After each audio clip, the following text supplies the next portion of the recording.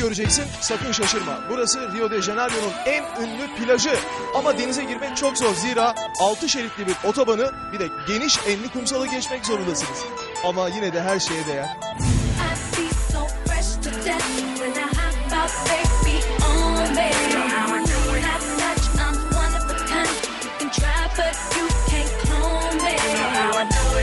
Efendim demiştik ya burada denize girmek çok zor diye.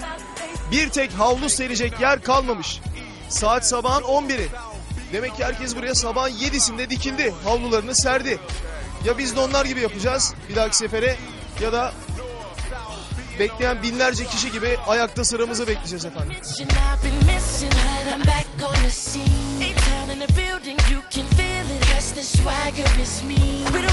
Efendim şimdi Brezilya'da neden bu kadar çok insan çeşidi var onu anlamaya çalışalım.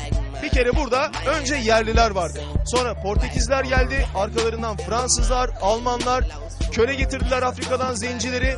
Sonra da hepsi birlikte karıştı. Bu şekli aldılar efendim. Vai. Gerçekten de öyle. Ó. What's the meaning of Copacabana for you? Well, Copacabana is is really the, the spirit of Brazil. Here you, you find uh, all, all kind of, of the Brazilian society.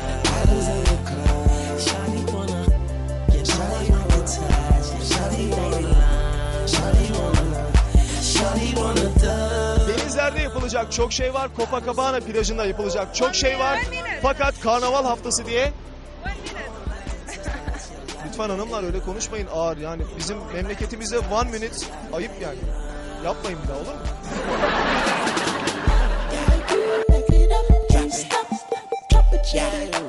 Merhaba. Hola, Hola. olho, We are from Turkey. sandal, sandal, Türkiye. queimar, para queimar. Türkiye. Siz nerelisiniz? É, Memleket nere? é, mesmo. Amcada her şey var.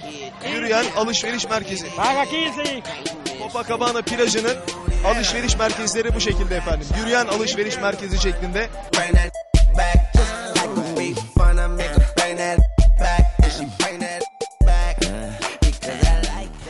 Türkiye'de kış mevsimi yaşanırken buradaki manzara bu. Ama asıl önemlisi iklimden ziyade insanların kafasındaki yaz mevsimi. Hayat şu andan ibaret şeklinde yaşanıyor. Gelecek kaygısı sıfır.